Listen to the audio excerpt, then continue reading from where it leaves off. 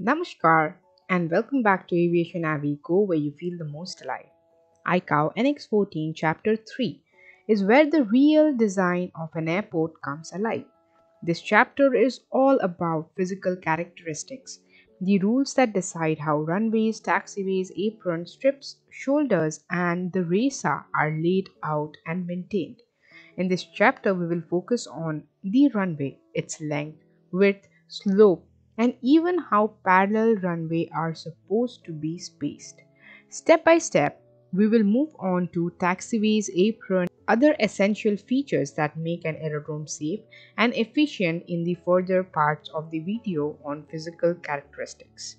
So let us start with the heart of the airport, the runway.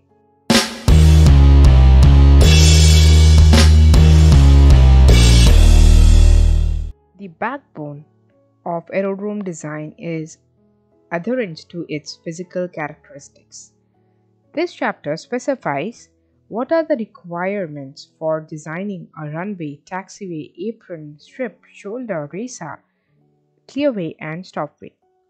It specifies the number, siting, and orientation of the runway, including how they should be designed in order to ensure a given usability factor. We'll look into the specific terms in further slides but we get the concept that this chapter will tell us what should be the length of the runway, what should be the width of the runway. Further, moving on, we'll understand why are there slopes given on these runways, what makes the runways usable even during adverse weather conditions. It helps us understand the limit of slopes, the longitudinal and the transverse slope.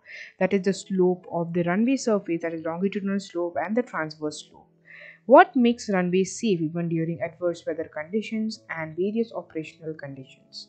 Further, what is the minimum separation required between two parallel runways? Let's say these two runways are parallel. What is the minimum separation required between these two runways? What is the dimension of runway and safety areas?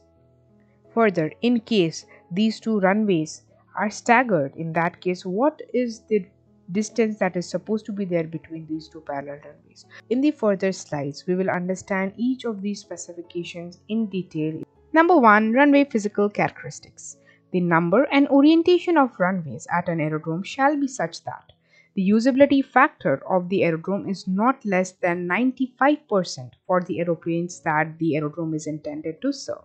What this basically means is that the airports must design and orient their runways so that they can be used safely at least 95% of the time by aircraft they are intending to serve.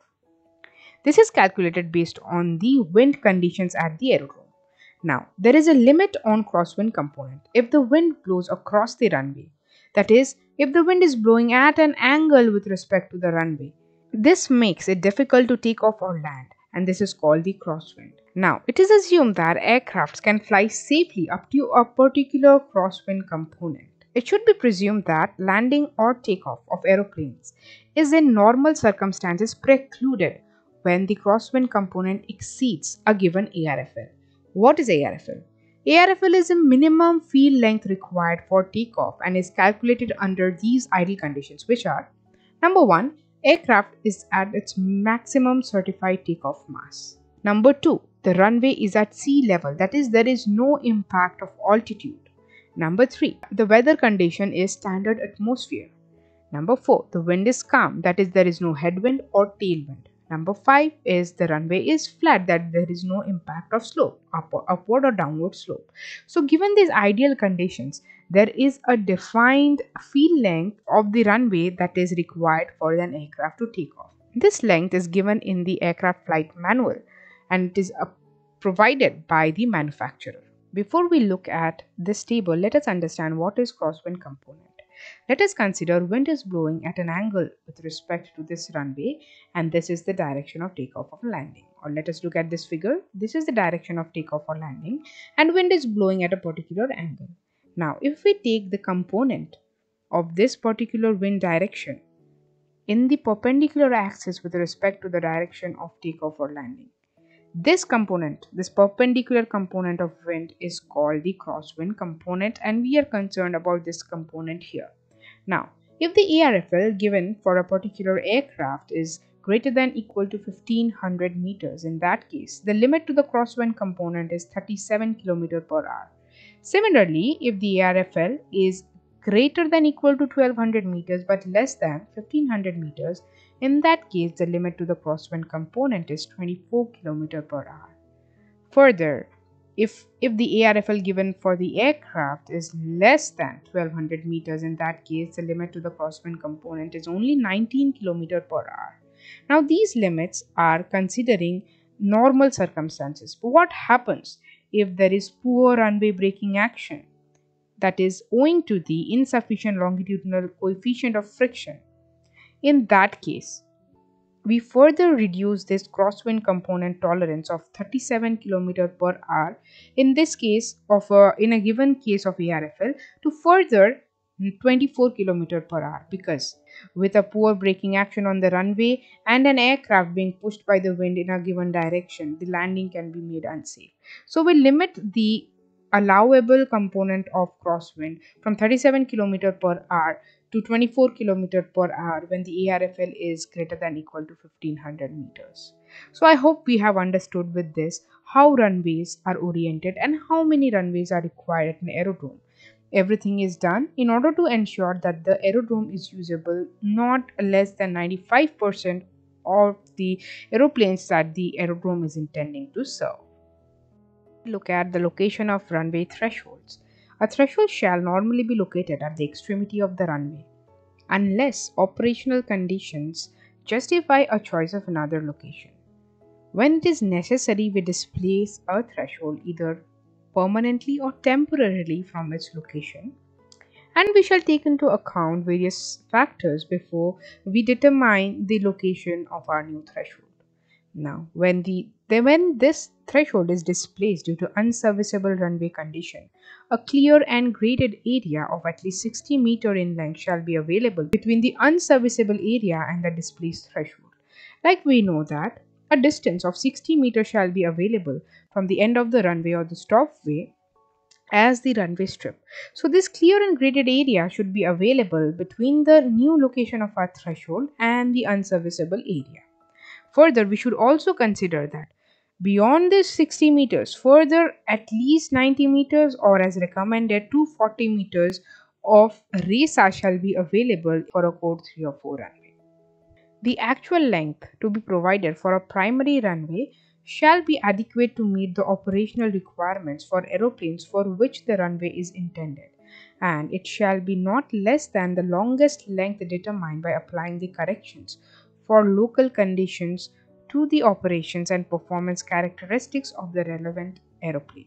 Now, the primary runway length that you can see here or the main runway length, it shall be as per the requirement of the aeroplane that is intending to take off or land at this particular runway.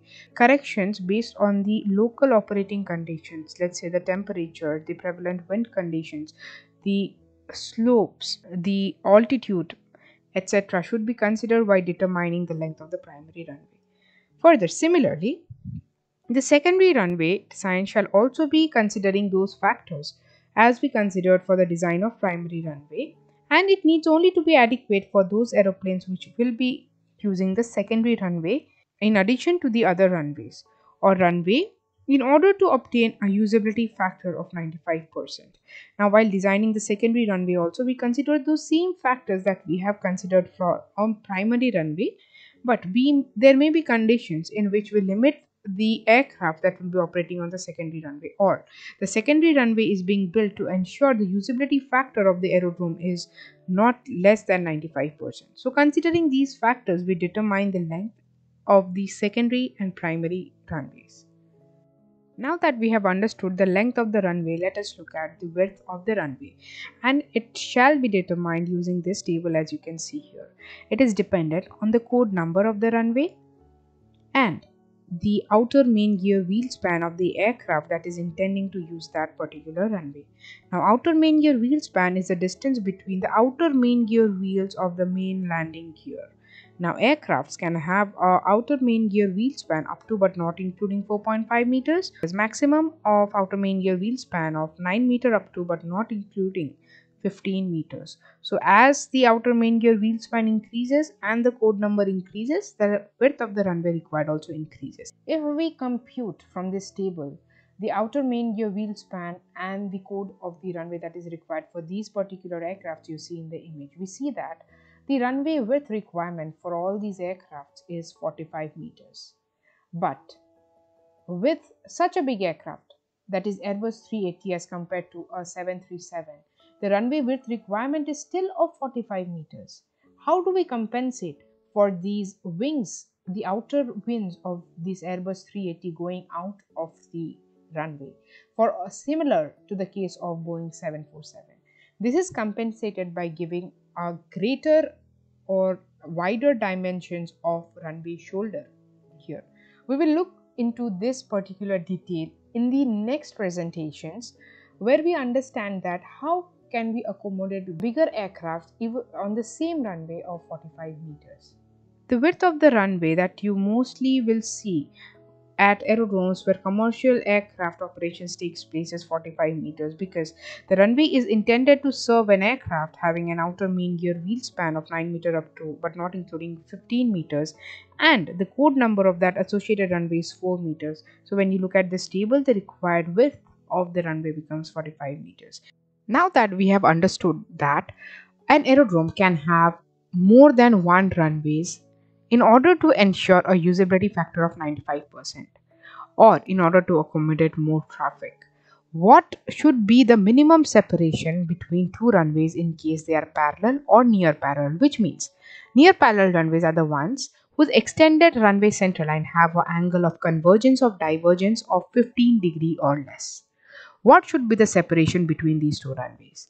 Now this is dependent on the type of operations that we are intending to have on these runways. Let us assume that these runways are instrument runways. In that case, for independent parallel approaches, that means approaches on these two instrument runways that are parallel or near parallel, in case approaches are being made simultaneously to these parallel or near parallel instrument runways and the radar separation minima between these two aircrafts are not prescribed. We require a greater spacing between these two runways, uh, these two runway extended runway center lines in order to ensure safety and that distance is 1035 meters. In case the radar separation minima between these two aircrafts is prescribed, in that case, we can reduce the distance between the two runway extended centerline a little and it will come down to 915 meters.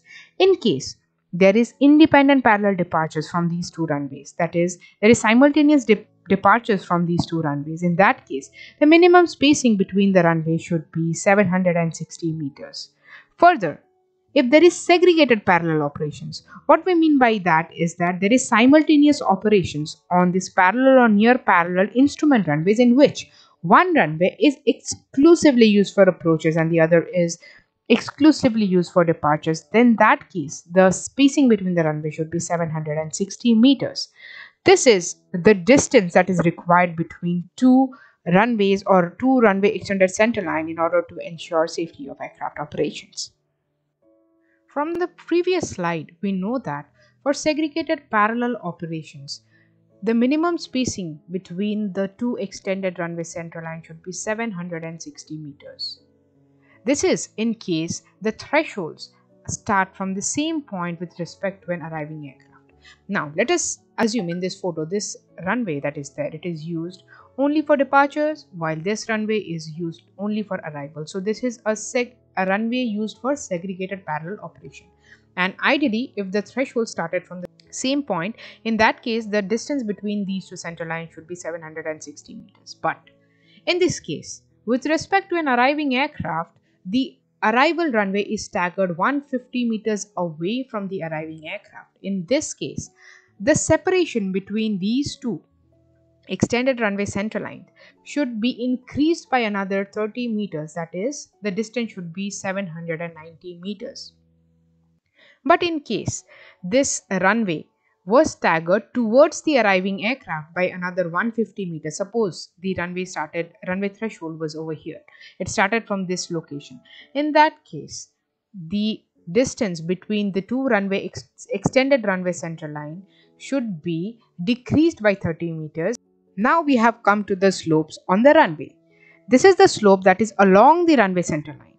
Now, the longitudinal slope is computed by dividing the difference between the maximum and the minimum elevation along the runway center line by the length of the runway. And this shall not exceed a slope of 1% where the code number is 3 or 4, which we see in most of the runways. Further, the longitudinal slope changes cannot be avoided. Sometimes the characteristic of the runway may be such that we cannot avoid such changes. In that case, the slope changes between the two consecutive slopes shall not exceed 1.5% for code 3 or 4 runway. Now let us look at transverse slope. To promote the most rapid drainage of water, the runway surface shall if practicable be cambered. That means the runway, runway that is given here should be cambered. It should have slope on either side of the center line in order to ensure drainage of water, except where a single cross fall from high to low in the direction of the wind most frequently associated with the rain would ensure rapid drainage. So basically the motive of transverse slope is to ensure that there is rapid drainage of water. So it can the runway surface can either be cambered or the slope between the highest and the lowest shall be such that there is no stagnation of water on the runway. Now ideally the slope shall be 1.5% where the code letter of the aircraft using the runway is C, D, E or F and 2% when the runway is being used by an aircraft having a code letter A or B. So we have understood with this video the dimensions or the physical characteristic associated with transverse slopes. Thank you for watching this video. With this, we have understood the physical characteristics associated with the runway. Uh, we will be talking about the runway shoulders, the strip, the RESA in our upcoming videos. I hope you enjoyed this video. Video was prepared by Shantanu and myself jointly. I hope you enjoyed this video and we could bring value. If you like our work, do not forget to like, share and subscribe because your support is our motivation. This is Anwesha Pal signing off. Thank you.